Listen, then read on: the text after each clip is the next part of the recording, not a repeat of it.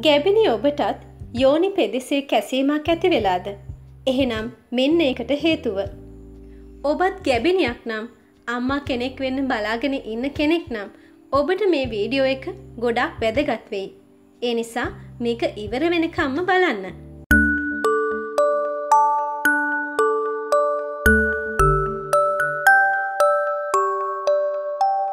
මේ වීඩියෝ එක හරහා අද අපි ඔයාලට ගෙන එන්නේ ගර්භණී අම්මලා ගොඩ දෙනෙක්ට තියෙන ප්‍රශ්නයක් වෙන යෝනි ප්‍රදේශයේ කැසීමට හේතු වෙන්නේ මොන වගේ දේවල්ද කියන එක ගැනයි.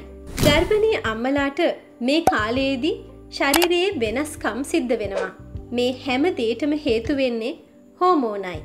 ඔබත් දැනටමත් ගැබ්ගත් අම්මා කෙනෙක් නම් හරි අම්මා කෙනෙක් වෙන්න බලාපොරොත්තුවෙන් ඉන්න කෙනෙක් නම් හරි අපි මේ කියන දේවල් ඔබට ගොඩක් වැදගත් වෙයි. මේ දේවල් ගැන දැනගෙන හිටිය හම ඒවාට හොඳින් මුහුණ දීලා අවශ්‍ය විදිහට කටයුතු කරන්න ඔබටත් පුළුවන්. ගර්භණී කාලයේදී කාන්තාවකගේ යෝනි ශ්‍රාවය වැඩි වෙනවා.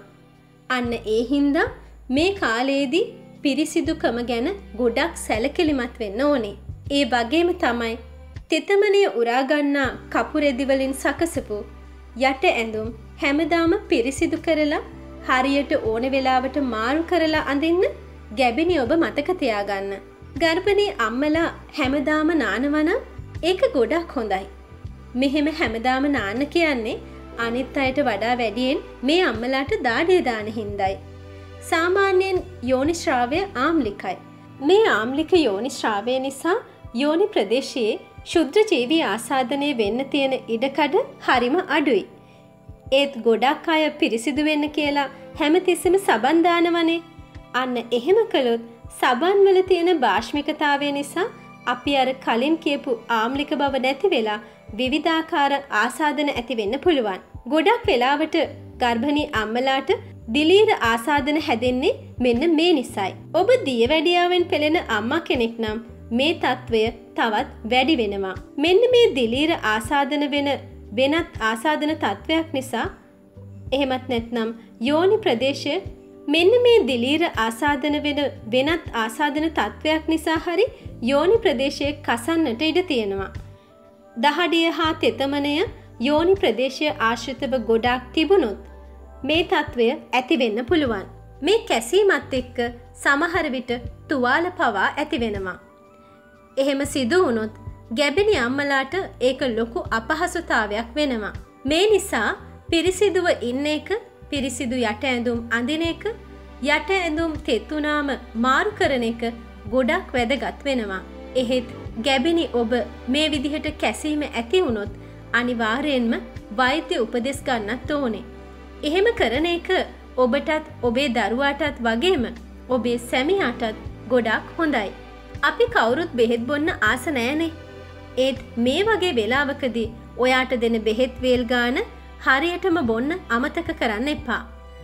කාන්තාවක් විදිහට ඔබ දන්නවා සාමාන්‍ය යෝනිශ්‍රාවය අවර්ණ සුදු පාටක් ගන්නවා වගේම අසාමාන්‍ය විදිහට ගඳක් නෑ කියලා.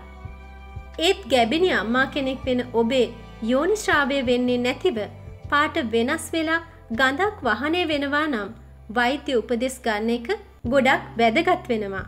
ගැබිනියන් මතක තියාගන්නම ඕන කරන දෙයක් තියෙනවා. ඒ තමයි මෙහෙම ආසාධනයක් ඔයාටත් තියෙනවනම් ලිංගික කාර්යයන් වලදී කොප්පු යොදාගන්න එක ගොඩක් වැදගත් වෙනවා. මෙහෙම ආසාධනයන් ඇති වුණා කියලා ලැජ්ජාවෙන් ඒක කාටවත් නොකයා ප්‍රතිකාර ගන්නේ නැතුව ඉන්න එක ගොඩාක් භයානකයි.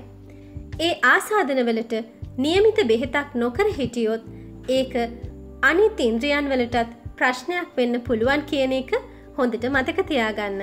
ඒ නිසා බය නොවී වෛද්‍යවරයෙක් හමුවෙන්න.